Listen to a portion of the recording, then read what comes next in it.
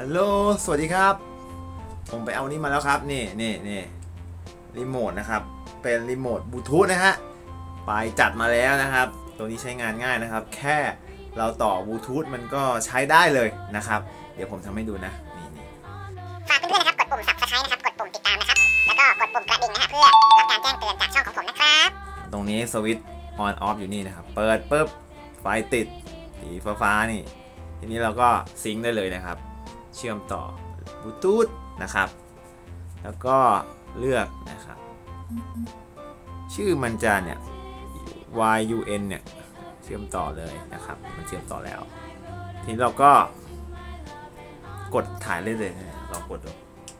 อ่าเห็นไหมวิธีอ่าเซตผมสอนแล้วนะ ทีนี้มันจะมีตรงนี้ เราแตะทีนึงก่อนนะครับ แล้วก็เพิ่มอ่าเพิ่มความสว่างมันหน่อย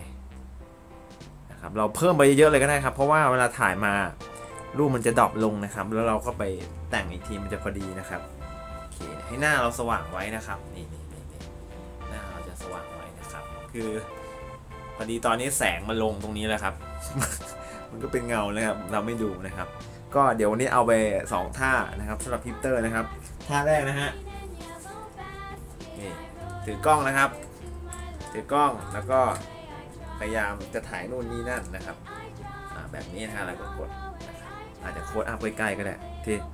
เพื่อความเท่นะครับ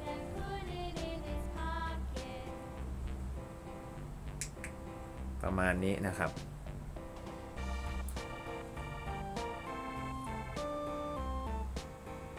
แต่ต้องเอาสายออกนะเพราะว่ามีสายก็ไม่เป็นไรเท่ดีนะครับ หรือไม่ก็ดูรูปแบบนี้ ดูรูปนะครับ ดูรูปแล้วก็เอาคนล้อไปนะครับ อาจจะใกล้หน่อยก็ได้นะครับ อะไรก็ว่าไปนะครับ พอร้อนอีกหน้าหนึ่งแท็บเล็ตหรือโทรศัพท์นะครับ ก็อาจจะทำเป็นเล่นนะครับทำเป็นเล่นโทรศัพท์อะไรอย่างเงี้ยฮะเอออย่างเงี้ยก็ว่าไปนะครับ หรือว่าทำเป็นกำลังคุยโทรศัพท์นะครับ แล้วก็ชิคทำโพท่าไปแต่แท็บเล็ตไม่ค่อยโอเค ผมว่ามันใหญ่เกินไปนะครับเนี่ยประมาณนี้อ่านะครับ ประมาณนี้นะฮะสำหรับการใช้เจ้าตัวรีโมทนะครับผมว่ามันโอเคมันใช้ง่ายนะครับ แล้วก็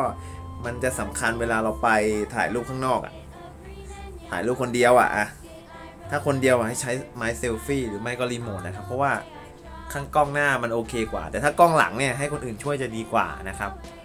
ก็ประมาณนี้แต่เราต้องมีขาตั้งกล้องด้วยไง ไม่งั้นเราจะเอาโทรศัพท์เราไปตั้งที่ไหนล่ะ หรือไม่เราก็เอาโทรศัพท์เนี่ยตั้งบนเอ่อบนบนบนถังขยะ หรือว่าบนโต๊ะอะไรแบบนี้ครับ อย่างน้อยมันก็มีต้องมันต้องมีขาขาตั้งขาวางอันเล็กนะครับ มันถึงจะใช้งานได้ เวลาจะไปเที่ยวก็ถือขาตั้งกล้องไปอันนึงรีรีโมทอันนึงแล้วก็โทรศัพท์ ออแค่นั้นแหละเก็บภาพได้นะครับ ราคาประมาณร้อยกว่าบาทนะครับ ผมสั่งมาจากเว็บออนไลน์นะครับ Lazada หรือว่า Shopee ก็น่าจะมีนะครับ ลองเข้าไป search ว่ารีโมทบลูทูธแบบนี้นะครับ น่าจะเจอนะ โอเค คลิปนี้ประมาณนี้ บ๊ายบาย